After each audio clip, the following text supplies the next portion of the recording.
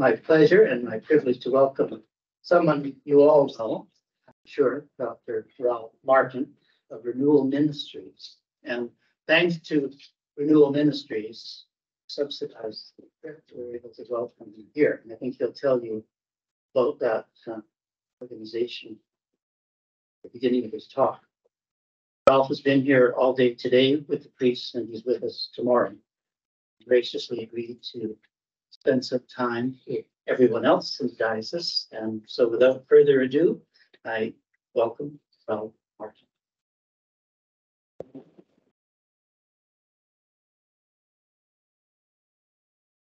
Pray. Spirit. Amen. Father, we thank you for great gift of life that you've given us a chance to be alive. You've given us a chance to overcome all the wounds of sin and death and the devil and offering us the gift of eternal life, life forever. We thank you for the gift of your son, Jesus, that makes it all possible and the gift of your Holy Spirit that makes it all real to us, reminds us what it's all about. Jesus, we thank you for your amazing promise that wherever two or three people gather in your name, you're there. Lord, tonight we gather in your name. We thank you for you being present. We want you to be the one that speaks to us tonight, you to be the one that comforts us tonight. You to be the one that encourages us tonight. You to be the one that challenges us tonight. We ask this through Christ our Lord, Father, Son, and Holy Spirit. Amen. Well, I actually feel, well, I know you all don't know me, so I will say a little bit about me. Um, I, I live in Ann Arbor, Michigan, uh, which is about 40 miles west of Detroit you know, Michigan, as you know, is right on the border with Canada, way over there.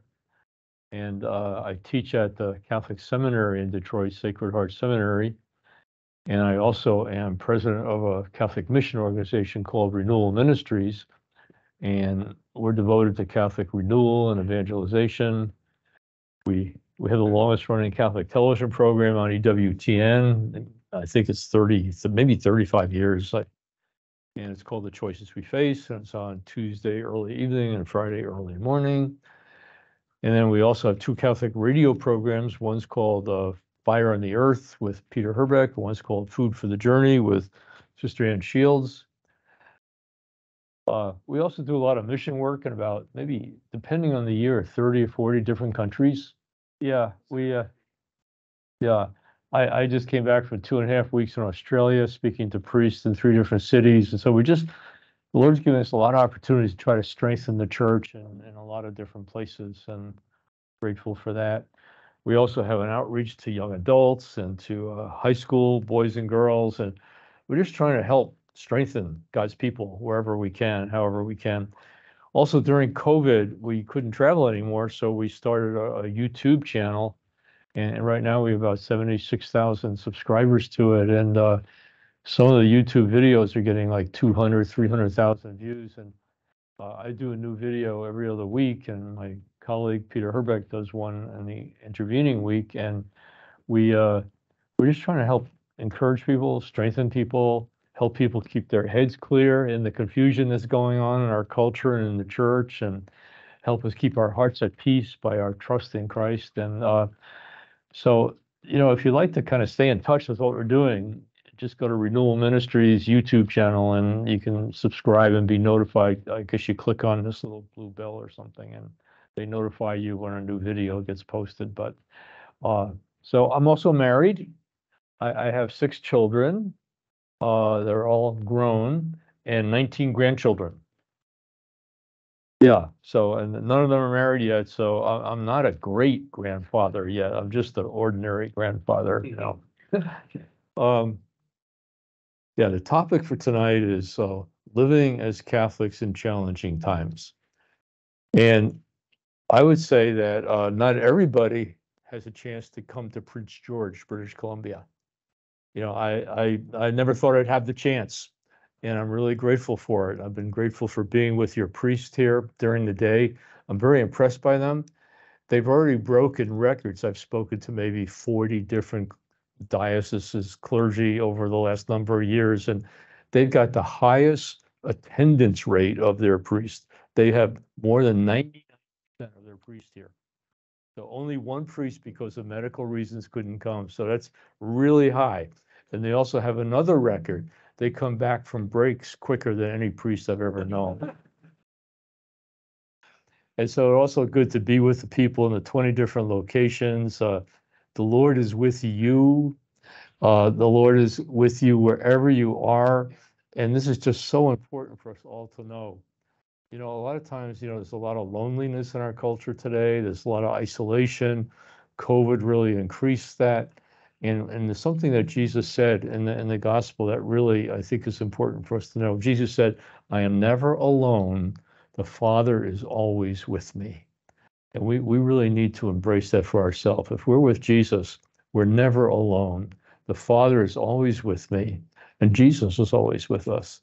And every time we're feeling isolated or alone or discouraged, we really need to say, Jesus, I trust in you because he's present, he's with us. Okay, the topic tonight is living as Catholics in challenging times. Does anybody need convincing that these are challenging times? No, it's pretty, pretty clear that things have accelerated so quickly in the last number of years that it's almost hard to believe we've gotten to where we are with such a hostility to Christ and the church that's grown in the culture and such an aggressive kind of oppression of, of the Christian message. But anyway, Archbishop Gomez says, an elite leadership class has risen in our countries that has little interest in religion no real attachment to the nations they live in or to local traditions or cultures. This group, which is in charge in corporations, governments, universities, the media, and in the cultural and professional establishments, wants to establish what we might call a global civilization. As they see it, religion, especially Christianity, only gets in the way of the society they hope to build. Unfortunately, I think that's the case. I think all the major levers of power and influence in Western cultures are now in the hands of people who really want to build a brave new world without God. It's a little bit like the rebellion in the garden, where, you know, the devil says to our first human beings, Did God really say this? Well, God did really say it. And then the devil says, you know, it's not true. You won't die. You'll be like God yourself. So there's really a, a profound casting off of the lordship of Christ and the, the authority of God in our culture. And, and creatures are declaring their independence from God. And, and the culture of death is spreading. You know, just like the Lord said, if you do these things, you'll die. If you separate yourself from me, you'll die. And so we're seeing the massive killing of babies. You know, know, I just thought that, you know, the horrible thing that's happening in the Middle East and, and the horrible thing that happened with Hamas uh, coming into uh, this rave dance that was going on, this trance music festival where all night long people were doing drugs and and who knows what. And and they were killed. And then babies in a kibbutz were killed. But then i thought to myself how many babies have been killed in israel through abortion in the same time period? It's almost like there's a blindness. We're horrified by people killing babies but people are killing babies every day in enlightened civilized countries. It's just sort of like a, a, a terrible spiritual blindness. Well, Pope Benedict XVI, after he resigned, kept writing. And one of the things he wrote was this 100 years ago, everybody would have considered it to be absurd to speak of a homosexual marriage. Today, one is being excommunicated by society if one opposes it. The same applies to abortion and to the creation of human beings in the laboratory. Modern society is in the middle of formulating an anti Christian creed. And if one opposes it, one is being punished by society with excommunication. The fear of the spiritual power of the Antichrist is then only more than. And it really needs the help of prayers on the part of an entire diocese and the universal church in order to resist it. So what Pope Benedict is saying is not just about universities, it's not just about governments, it's not just about media, but there's a powerful spiritual force that's behind the whole thing. He talks about the spirit of the Antichrist. Now, us Catholics aren't used to really talking about the Antichrist, but the Catechism of the Catholic Church gives some really clear teaching on it based on Scripture. Because what the Catholic Church believes is based on Scripture as it comes to us through the tradition of the Church. In section 675 of the Catechism, it says, Before Christ's second coming, the Church must pass through a final trial that will shake the faith of many believers. The persecution that accompanies her pilgrimage on earth will unveil the mystery of iniquity in the form of a religious deception, offering men an apparent solution to their problems at the price of apostasy from the truth. The supreme religious deception is that of the Antichrist, a pseudo messianism, by which man glorifies himself in place of God and his Messiah come in the flesh. That's what's happening. Human beings are glorifying themselves in place of God. They're no longer worshiping God, they're worshiping themselves. There's a book that's just been published called The Apocalypse of the Sovereign Self, the manifestation of the sovereign self, where human beings are deciding that they know better than God, that they can be anything they want to be, they can create themselves, they can decide who they are, despite the way God created us.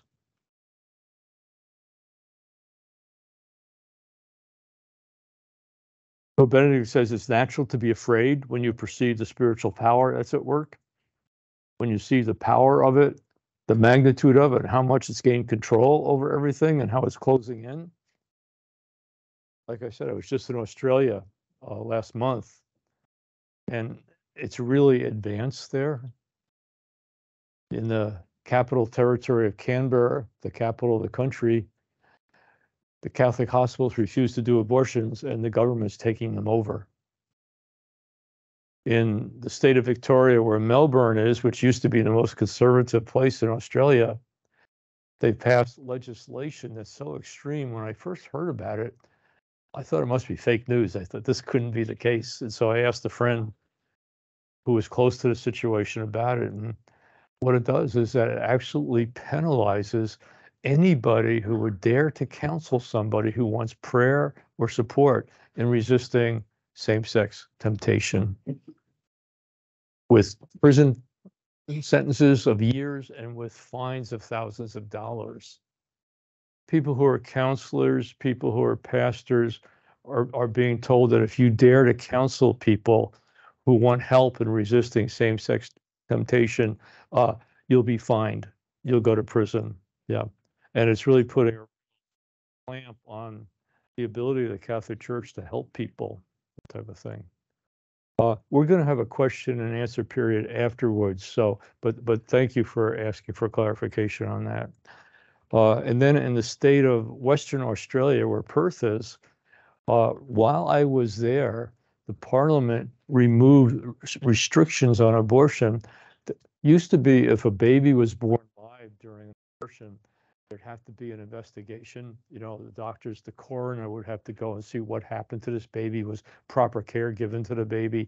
But they removed that requirement because they said it makes people feel uncomfortable because they're killing babies after they're born live, you know, with abortions.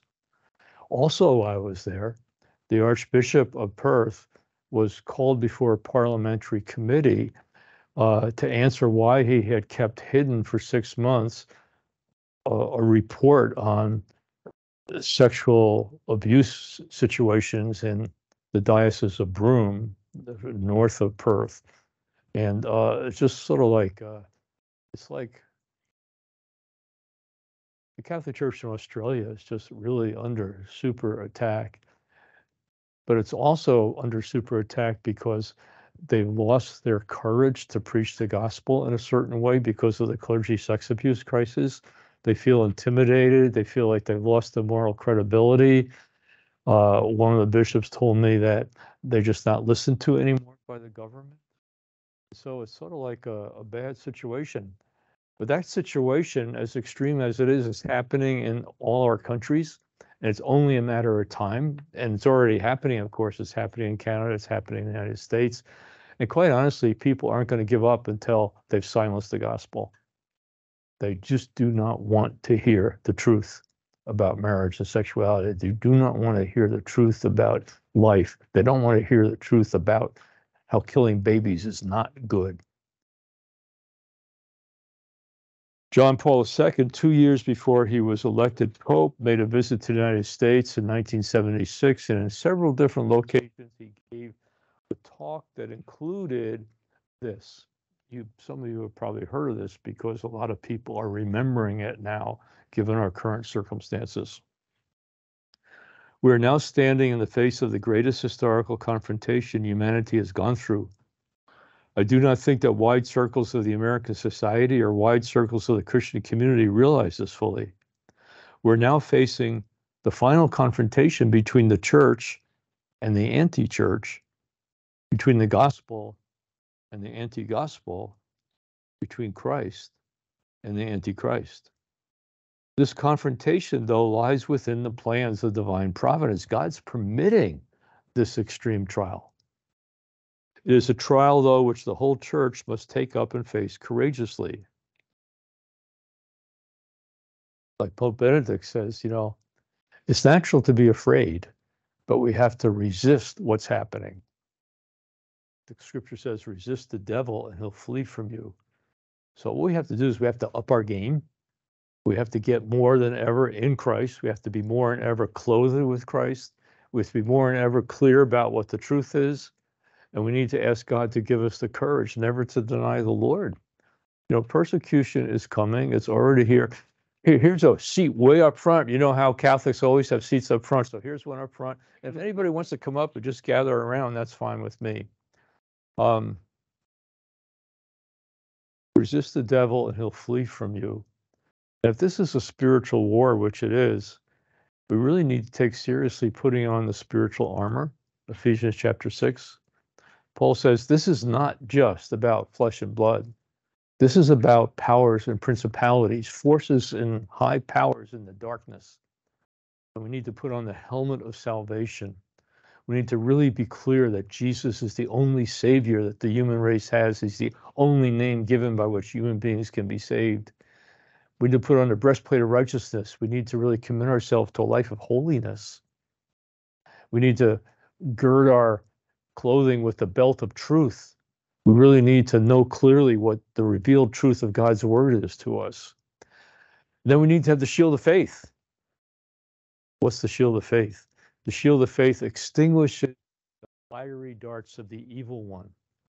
Every day, all day long, the devil's firing fiery darts into our emotions, into our memories, in, into our feelings, trying to stir up uh, disordered desires, trying to stir up discouragement, trying to stir up fear. And the only way we can extinguish those fiery darts is with the shield of faith. So, what's the shield of faith? The faith, shield of faith is first of all faith in Jesus. Jesus is the Lord. Jesus is the only name given by which people can be saved. Jesus is completely trustworthy. But also faith in what Jesus says because there's a lot of people who still have a sentimental attachment to Jesus, but it's not the real Jesus. Jesus is a good guy. Jesus is uh, compassionate. Jesus is loving. True, but that's not the whole story about Jesus. Jesus is Lord. Jesus is God. Jesus is coming again in glory to judge the living and the dead. What we believe and how we live is going to determine our eternal salvation. Christianity is not a game. There really is a heaven. There really is a hell. It really matters. how we respond to Jesus. You know, there's a lot of people who are creating a Jesus in their own image. You know, sometimes I'll give a talk and share some of the challenging things that Jesus says. And more than once, somebody's come up to me and said, My Jesus would never say that. It's funny, but it's scary. Picking and choosing what we like that Jesus says is really profound rebellion. We don't understand who he is. He's the Lord. I want, I want to tell you my own experience of coming to understand that and how significant it is and how it's really the most important decision I ever made in my life. I grew up in a good Catholic family. My grandparents came from Ireland. We were Catholics. When I was growing up as a boy, I believed everything the nuns taught me. In those days, they were t- teaching really good stuff, you know, good, true stuff, you know. And I believed it, but there wasn't a fire in my heart. And as the world, the flesh, and the devil began to make a bigger and bigger impact on my life, I, I just was sort of drifting. And when I went to a Catholic university, Notre Dame down in Indiana, uh, uh, I was looking for answers, but I, I just wasn't finding them. And I started off as a political science major and felt like that wasn't really fundamental enough and the questions I was asking. And then I became an English major, thinking maybe the, the beautiful themes of great world literature would give me the answers I was looking for. Then I became a philosophy major. My poor parents were thinking, what an unstable kid we have. he's getting he's getting further and further away from you know making a living philosophy philosophy major, you know. And and honestly, honestly, the more I studied philosophy, the more confused I got. because it was a matter of opinion. This philosopher said this, and this philosopher said this, and everybody was critiquing each other, and it was all it was all human ideas. And I was looking for something solid. And then a friend urged me, harassed me, badgered me into making a Cursillo. Uh, it's a weekend retreat. Some of you know about it, and it's like a, you know, a significant retreat. And finally, just to get them to stop bothering me, I said, "Okay, I'll go." But I said, "I'm going to warn you, I'm not going to fall for it because because I know people are going to have a warm human experience and they're going to call it God, but I'm not going to fall for it. I'm a philosophy major." Forgive me, Lord. Well, I'm happy to report that I fell for it. Very happy to report that I fell for it. I heard this beautiful explanation of the Catholic faith. And I thought, wow, whoever invented Christianity was really smart. How dumb I was. But then they began to talk about Jesus. And that made me feel very uncomfortable. I said, why don't we keep this on a theoretical level? Why don't we talk about the second person of the Trinity? Or let's talk about Christological theories type of thing. But they just kept talking about Jesus like, wow. And at a certain point, all I can say is that I felt like he was in the room. I didn't have any visions. I didn't hear any voices. I just became aware that this one they were talking about was there. And he was letting me become aware that he was there. I don't feel like he said anything to me. I don't think he asked anything of me other than what he was saying by him being there was I am who am. I'm God. I really have been raised from the dead. I really am the Lord. I really am the one to all power and authority has been given by God the Father. And I knew he, I knew I needed to deal with it. I knew I couldn't ignore it. I knew I couldn't pretend that he wasn't there and he wasn't real and he hadn't really been raised from the dead. But it was a struggle. And at first I thought, well, maybe I can make a deal with Jesus. you know, maybe I'll come back to mass if he'd let me go on with my life as I was living it. I knew he wasn't interested just in that. I knew that the only sensible response to make to Jesus is unconditional surrender.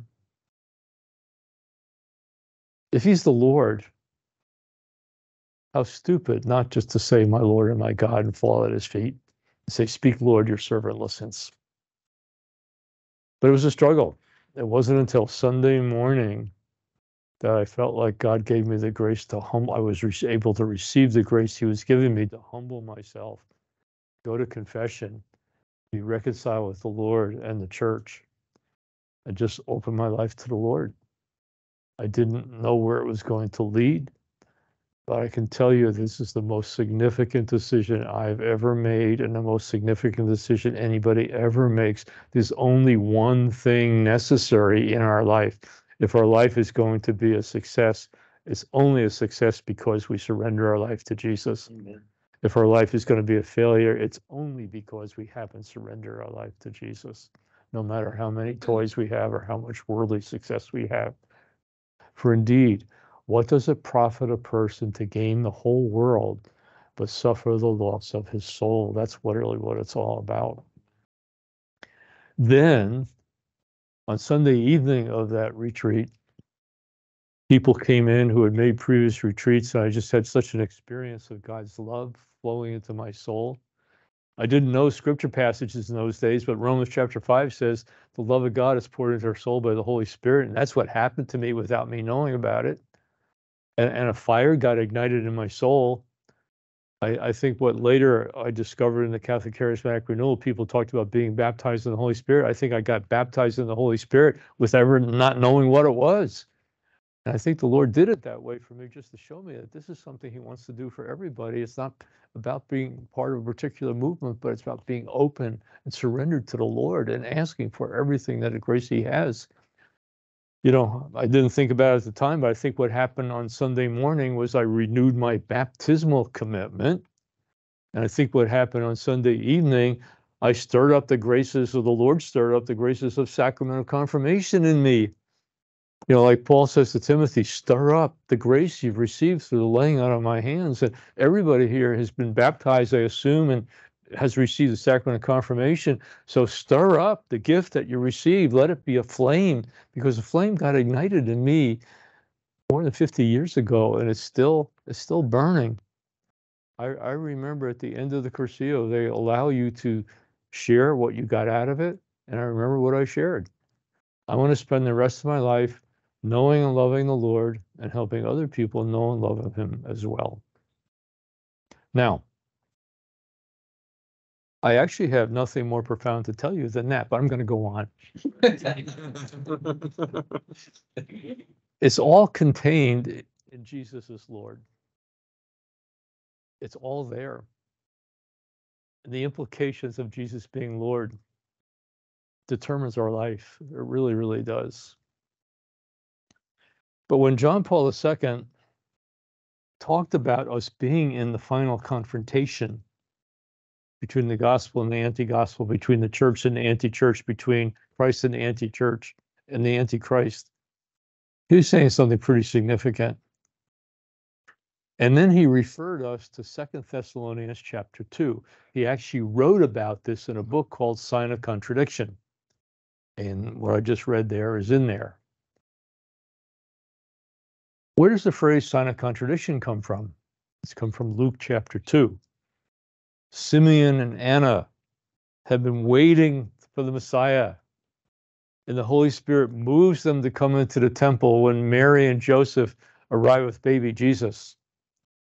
And Simeon sees baby Jesus and says, Lord, you can let me you can let me go now. You've fulfilled your promise. I've seen him. But then he prophesied. He said, This baby will be the cause for the rise and the fall of many in Israel. He'll be a sign of contradiction. He'll reveal the secrets of hearts. And Mary, a sword will pass, will pierce your heart. What a what a violent, sorrowful, painful image. Mary, a sword will pass your heart, pierce your heart. And we know that at the foot of the cross, a sword pierced Mary's heart as she shared in the excruciating death of Jesus. But this is telling us a lot about who Jesus is, the real Jesus. We can't know the real Jesus unless we know what sacred scripture reveals about him. And this is an important revelation. Not everybody's going to like Jesus. Not everybody's going to accept his teaching. Not everybody's even going to respond to his miracles with faith in him, but they're going to say, More bread, Jesus, more bread. That's exactly what Jesus says. You're coming to me not because you've recognized who I am, you're coming to me because you like to get fed. Jesus was hoping the miracles he worked would lead people to recognize who he was and become disciples. Now, sign of contradiction, Second Thessalonians chapter 2. John Paul II said, look at this text and you'll see more about what's going to happen in the final. Now, I don't know whether we're in the final confrontation or not because the only way we'll know is if the Lord returns and puts down the Antichrist. That, that's how it ends. But Paul says, don't be confused by supposed prophecies to say the Lord has already come or he's about to come because he will not come until these two things take place first. First of all, the great apostasy. So, what's the great apostasy? It isn't something that pagans do, it's something that Christians do. It's the turning away from faith on the part of those who once had it. We're certainly living in the midst of a great apostasy. The Catholic nations of France, the Catholic nation of Italy, the Catholic island, the Protestant island of England, all the Protestant and Catholic nations are seeing a massive repudiation of faith. The number of people who go to church in these countries is smaller and smaller and smaller. And the hostility and the indifference to Christ and the church is growing and growing and growing. One of the saddest things I've seen in recent years is after Ireland legalized abortion, tens of thousands of Irish people flooded into the streets of Dublin celebrating that they now could be like the other nations of Europe and kill babies too. How dark, how fallen, how evil. So there's certainly a great apostasy going on. Whether it's the final apostasy or not, we won't know until the Lord returns, or he doesn't. The second thing that Paul says needs to happen before the Lord returns is there's a certain restraint that the Lord has placed on evil. At a certain point before the Lord returns, that restrainer is going to be taken away and is going to be unrestrained lawlessness and evil. What we've seen, even in our lifetime, is the systematic stripping away of every restraint on evil And it's just accelerating. And it's really hard to explain how quickly it's gone without recognizing that supernatural power is at work, like St. Pope Benedict pointed out. But then it goes on to say, at a certain point, the lawless one will appear. Most people think it's the Antichrist. And he'll use every deception at his disposal so that those destined to perish will perish. Now, for a long while, I didn't, I wasn't shocked by that. I'm shocked. Who's destined to perish? It goes on to say, those destined to perish because they refuse to open their hearts to the truth and be saved. Another translation says, because they refuse to love the truth and be saved. And then it goes on to say, the means that the Antichrist is going to use to lead people to destruction is false signs and wonders and deception. Maybe sorcery, magic, who knows? Uh, maybe great spectacular deeds that aren't done by the power of God don't lead people to repentance and faith, but lead people to marvel at the person who does them. But then it says every deception so many times in the teaching of Jesus and the teaching of the apostles, there's warnings about don't be deceived. Don't let anyone deceive you. Jesus warns about false teachers and false prophets. The apostles warn about people who are making a shipwreck of the faith. Then it goes on to say, when people refuse to love the truth, a darkness comes over them and they fall into even a deeper darkness. And the impression you get that the deeper darkness is the consequence or the punishment for closing their hearts to the truth. And it leads them to a place of darkness that it's virtually impossible to recover from. We can never make that judgment. Only God can make that judgment, but it's a tremendously serious warning about do not close your heart to the light of God. Do not close your hearts to the truth because it can lead to deeper and deeper darkness. The reading at Mass today was Romans chapter 1. I don't, I don't know if any of you noticed it or read it, but uh, it's a it's a tremendous analysis of what's going on in our culture. It's a tremendous description of what happens in a person's life when they turn away from God. It begins by saying, God has revealed himself to the whole human race.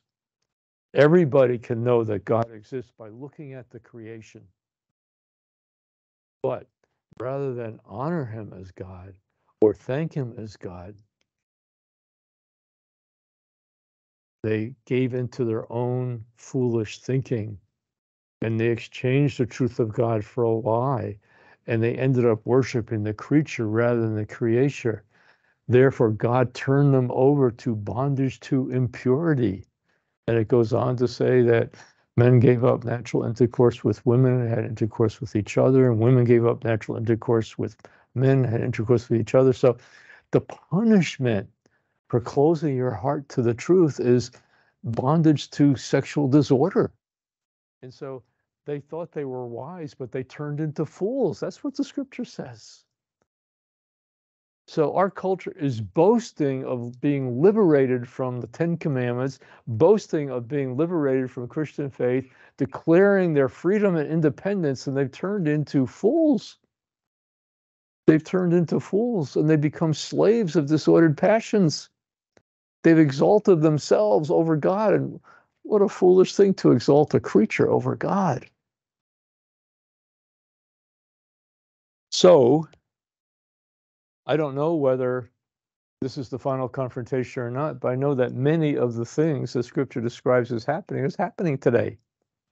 But what do we do? Well, let me say one one more thing. Um, I'm, I'm going to go to eight o'clock if that's okay. I only come to Prince George once every 50 years, and I want to I want to give the best I can. But um,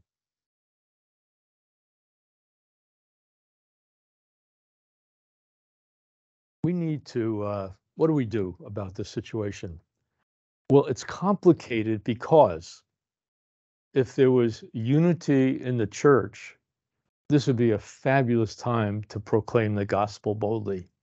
This would be a fabulous time to not be ashamed of the gospel and to announce with boldness and conviction and authority that Jesus Christ is the Lord and is the only hope of humanity. And, and suffer persecution or martyrdom or whatever, be a great time. But just at the time when the culture is suffocating us, the church is divided, confused. I never thought I'd see what I see happening today in my whole lifetime.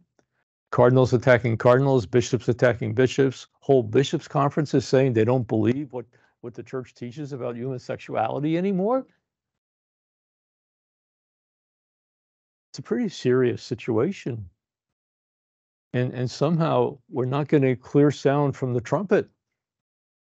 And paul says when you don't get a clear sound from the trumpet who's going to come for battle? And so who's coming for battle? We're divided we're we're weak we're confused we're we're intimidated. We we fear what people think more than fearing god.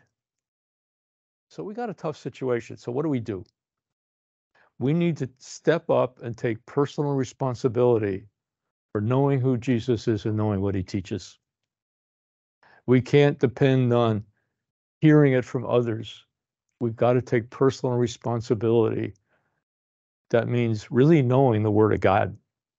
You know, Jesus says the Holy Spirit will remind you of things I've said. Well, if we don't know the things he said, how can the Holy Spirit remind us of them? Hmm. So we really need to meditate on the Word of God. And we need to recover our confidence in the inspiration and inerrancy of sacred scripture. You know, what does Vatican II say about how us Catholics should approach sacred scripture? In the Constitution and Divine Revelation, it says the primary author of sacred scripture is God. Can't say about that, can't say that about any other book. This is unique. Can't even say that about ecumenical councils. Can't say that about the Catechism of the Catholic Church. They're not inspired by God in the same way. It says, and of course, he works through human instruments. He works through people's culture and mentality and psychology. He, he works through culture. But what he inspires the sacred authors to assert is asserted by God. Then in section 11, it says, everything asserted by the sacred authors should be considered to be asserted by the Holy Spirit to teach faithfully, firmly, and without error those truths that God wished to consign to the sacred writings for the sake of our salvation. Our salvation depends on paying attention to what God has revealed to us. And it starts with sacred scripture. A lot of Catholics have been shaken loose from confidence in sacred scripture, don't know how to take it. They've heard things like, well, if you don't know Greek or Hebrew, you know, forget it. You can't understand it. You know, if you don't know all the commentaries, forget it. You can't understand it. Uh, it's not true. Jesus rejoiced to his father and said, I thank you, Father, that what the learned and clever don't understand, the merest of children are getting. God has ordered the plan of salvation so that the merest of children can understand it.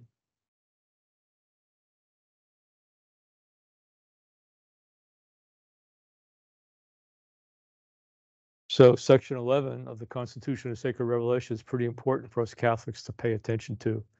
Everything asserted by the sacred authors should be considered to be asserted by the Holy Spirit to teach firmly, faithfully, without error those truths that God wished to consign to the sacred writings for the sake of our salvation. So, number one priority recover our confidence in divine revelation, believe what God teaches us. Pope Benedict says the church believes the Bible. The church believes the evangelist. Number two, we got to really up our relationship with the Lord. If we're not taking some time each day for personal prayer, we need to start doing that. I've I can't talk about it tonight, but it took me 10 years to write this book. It's the best wisdom the Catholic Church has about the journey to God. It's taking the writings of John of the Cross and Teresa of Avila and Catherine of Siena and of Lisieux and Francis de Sales and Bernard Clairvaux, putting it together in an orderly, clear way.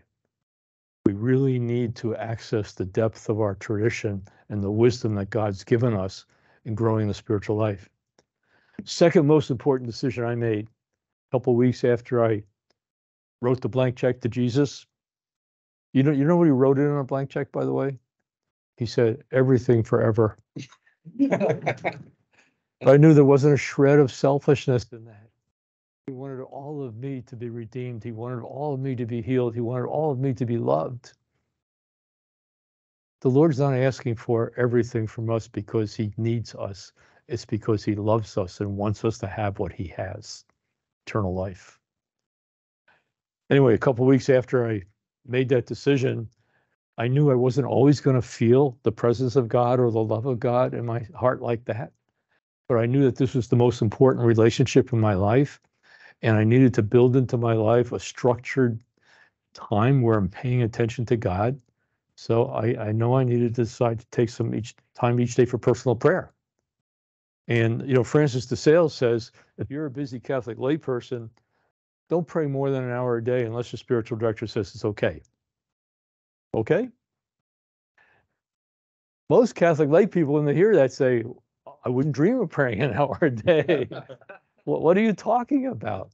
But the reason why Francis de Sales says it, he says, how do you expect as busy Catholic lay people in family life and work life to be in those situations a peaceful heart and a clear mind, sensitive to the inspirations of the Holy Spirit, unless you're spending time with the Lord, unless you're really paying attention to Jesus, unless you're meditating on His Word. It makes a lot of sense. Of course, if you're not used to praying an hour a day, start somewhere, but start. Take 15 or 20 minutes a day and just be quiet before the Lord. This little, uh, I don't know if I have it with me. No, I don't have it with me, but this little Magnificat thing, you know, like a little monthly publication that comes out of New York. Uh, I think it, I think it makes it across the border here to Canada too. Uh, you know, has little little morning prayer, little psalm. You know, has the daily scripture readings, has a little uh, place for intercessions and meditation and the life of the saint. It's very helpful. You know, so just just be before the Lord. You know, and spend a little time. You know, meditating on His Word, not just reading it, but actually hearing what it says and talking to the Lord about it. Anyway, I wish I could go into a whole lot more about personal prayer, but that's really important. It's really important that we are close to the Lord, that we're really clothed with Jesus, that really put on the mind and heart of the Lord. Thirdly, we need to recognize where the attack is coming right now. The, the point of the spear of the attack is on marriage and sexuality. If the devil can destroy human identity, if he can destroy us being created in the image of God, male and female, boy, he's well on his way to destroying the human race. If you destroy the family, you're destroying future generations. Already, the pain in our culture by departing from God has reached such a point that all the surgeon generals of the United States, the last four or five surgeon generals saying, we now have a mental health emergency. The amount of people who are consumed by anxiety and depression, the number of people who are confused and rootless with no foundation and no, no principles by which to live their life is just growing. The, the pain in families, the pain in young people. What 40% of teenage girls have thought of committing suicide? Don't we think something's going wrong? Don't we think something's wrong? When are we going to wake up and say, we're heading off the cliff? We got to re- get really clear about the truth is about marriage and sexuality. What is it? It's not rocket science. God created us male and female for the purpose of coming together in holy marriage, open to life. That's it. That's it. But the implications of that, nobody wants to hear. What that means is that every exercise of genital sexuality outside of holy marriage is offensive to the Lord and damaging to people. Very damaging. 1 Corinthians chapter 6, Paul says, Don't let anyone deceive you. So we have to take a responsibility for not being deceived in this area. The world wants to deceive us. Our disordered desires would love to be deceived. But we, we need to take responsibility not to be deceived by knowing the truth of God's word. Paul says, Don't let anybody deceive you. The immoral will not enter the kingdom of God.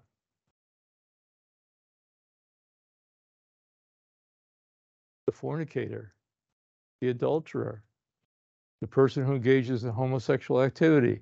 We're not talking about orientation or temptation or whatever. We're talking about doing sexual things with people of the same sex. The drunkard, the idolater, the robber will not enter the kingdom of God. This is the word of God for our salvation. The Lord's not trying to keep us from any pleasure or happiness. He's trying to lead us to true life, to true love, to true peace, to true goodness. What that practically means is that pornography, masturbation, fornication, adultery, homosexual activity is offensive to the Lord and damaging to people. Jesus said, if your right eye causes you to sin, cut it out. If your right hand causes you to sin, cut it off. If your right foot causes you to stumble, cut it off. Better to enter the kingdom missing an eye or, or a hand or a foot than to go down to hell with an intact body. Jesus basically says, do whatever it takes to get free of serious sin. And we've been lulled into this cloud of acceptance and it's normal and everybody's doing it. Well, Jesus said, broad and wide is the way that leads to destruction, and many people are heading that way. But narrow is the door that leads to life, difficult to road, and few are finding it. So, do you want to flow along in this haze of, of rationalization and self deception over the cliff to destruction? Or do you want to embrace the cross of Christ and, and pick up your cross every day and deny yourself and follow Him, even in these difficult areas? do whatever it takes to get free from serious sin. If your smartphone is causing you to sin, get a dumb phone. if your subscription to Netflix is weakening your desire to live a holy life, cancel it. If you're hanging around with certain people that weaken your desire to live a holy life, you got to change your friends. In fact, as a matter of fact, it's going to be very hard to persevere as Catholics today. First of all, without personal loyalty to Christ. We just can't do it on culture, tradition. Like I'm, I come from a Catholic family. That's not going to be enough. It's got to be personal loyalty to Christ. It's got to be friendship with Christ. Also, it's got to be friendship with each other. We really need to be in relationship with other people who want to follow the Lord with us. We're going to need their support. We're going to need their encouragement when we waver, when we get confused, when we get discouraged. We're going to need their support. So connect with others who want to follow the Lord. If taking more than one glass of wine weakens your resolve in living a holy life, stop. If if if going to a 12-step group would help you, go to a 12-step group. Do whatever it takes to get free of serious sin, because serious sin will kill you and will lead you to eternal destruction if it's not repented of. Okay. One more area so one big area of deception is an area of marriage and sexuality. So we got to get really clear what the truth is there and really commit ourselves to it and really go through the struggle, even if it takes a long period of time to get free of serious sin. Another big deception, a really big one, is this. If I were to describe how many Catholics look at the world today, I describe it like this Broad and wide is the way that leads to heaven. Almost everybody's going that way. Narrow is the door, difficult the road that leads to hell, and hardly anybody's going that way. Now, what's wrong with this picture? Oh, good. Yes, yes. I did give you a little hint just a few minutes ago. There's some Bible believing Catholics in the room tonight. Yes, that's good. What did Jesus say? Matthew chapter 7, verses 13 and 14 broad and wide is the way that leads to destruction and many are having that traveling that way. Look around isn't that the situation today? Many are traveling that way but narrow is the door that leads to life difficult the road and few that relatively few are finding it. Now we're not fundamentalists. We don't take isolated scripture passages as catholics but we know that first timothy chapter 1 says god wills the salvation of the whole human race and everybody be saved by coming to the truth. But people have to come to the truth. People have to accept it. People have to surrender to it. You know, there's a lot of talk in the church today about the mercy of God. Well, Romans chapter 11, Paul says, consider both the kindness and the severity of God. But for the last 45, 50 years or so, all we've heard about is the kindness of God. God loves you. That's fine. That's good. But like somebody said, if you don't know what the bad news is that we're lost without Christ, when you hear the good news, it seems like no news. Yeah, good deal. God loves me. Paul says, consider both the kindness, and we might say the holiness of God. Consider both the love of God and the justice of God. We've, we've developed a distorted understanding of who God is because of a one sided presentation of, of the infinitely transcendently holy God. And so we now fear people's opinions more than we fear God.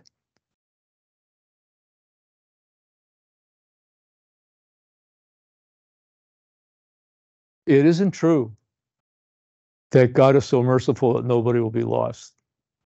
God is so merciful, he doesn't desire anybody to be lost, but people have to respond to his mercy.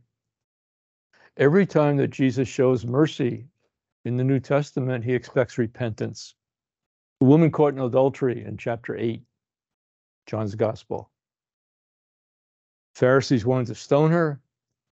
Jesus kind of disperses them. And he asked the woman, Is there anybody left to condemn you? The woman says, No, Lord, nobody's left to condemn me. And then Jesus says, I don't condemn you either, but go and sin no more. Jesus is showing tremendous mercy to her, but he's expecting her to respond to the mercy by going and sin no more. John chapter 5, the guy who for 38 years could never make it down to the pool of Siloam when the angel stirred the water, and he was, never could be the first one in. Jesus had compassion on him and healed him. But then scripture says Jesus sought him out to tell him something. What did Jesus tell him? Stop sinning, or something worse will happen to you. Or the prodigal son, passionate father that we all are so familiar with, that we hear about all the time, how God is so merciful, God is so compassionate. Yes, but the compassion and mercy of God the Father couldn't be effective in the prodigal son until he changed direction. He left his father's house. He squandered his father's gifts. He got so low, he wished that somebody could give him the food that pigs eat to eat. And that's pretty low for a Jew. And finally, he said, You know what? I've gone the wrong direction. This is not working out. I'm going to return to my father's house and say, Father, I've sinned against you and against heaven.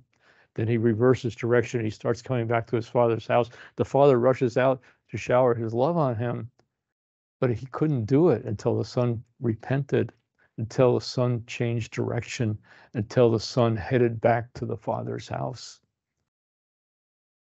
Divine Mercy devotion is one of the most popular devotions in the church today, but a lot of people don't know the whole revelation that Jesus gave to St. Faustina. We just had our feast day.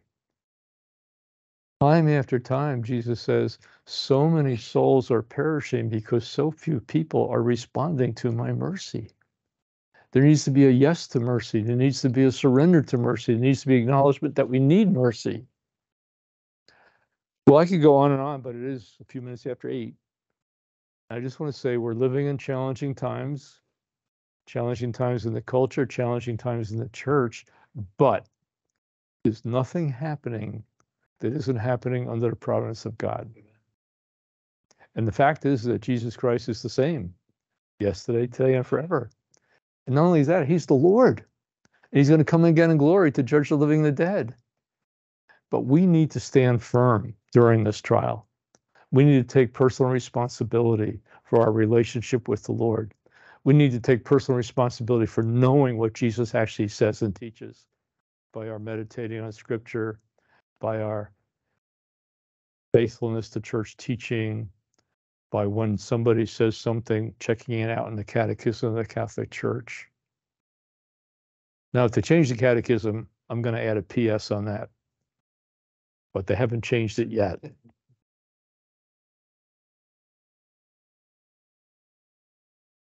It's serious times, but it's also a time for heroism. It's a time for bravery. It's a time for courage. So, yes, here in the Diocese of Prince George, the Lord wants to raise up saints. Yeah. Wants to sit- raise up apostles, wants to prepare people for suffering for Jesus. You might say, gee, I think that's beyond my pay grade. It's not. The only reason why any of us have been created is to be one with God. The only reason why any of us have been created is to be one with God. And the only people who are in heaven are saints. Worry, you don't have to be a canonized saint. The, the diocese doesn't have enough money to kind of have send all your all your causes to Rome to be canonized. But everybody who's in heaven is completely one with God. Everything in them that resists the will of God and the love of God has been purified. And that's what the Lord wants to begin to do with us here on earth. And all the saints say it's better to do it here on earth than do it in purgatory because the more one we're with God, the more fruitful our life is, the more free we are, the more love we have, the more we can be a blessing in other people's lives. So let- let's just end with a prayer. Lord, I thank you for your holy word. I thank you for not leaving us to wander and to wonder, but to actually spell it out for us clearly what your plan is and what your provision is for the salvation of the human race. I thank you, Lord, for the clarity of your word, the power of your word. I thank you, Lord, for your presence with us. I thank you, Lord, for the faithful priests and bishops who continue to speak your word and believe your word and come against error and deception. Lord, I thank you for everybody who's with us tonight in all the 20 different locations and right here in Prince George. I ask you, let your Holy Spirit come on the Diocese of Prince George. Let your Holy Spirit come on and raise up people, ignite fire in people's hearts, the fire of your love. Amen.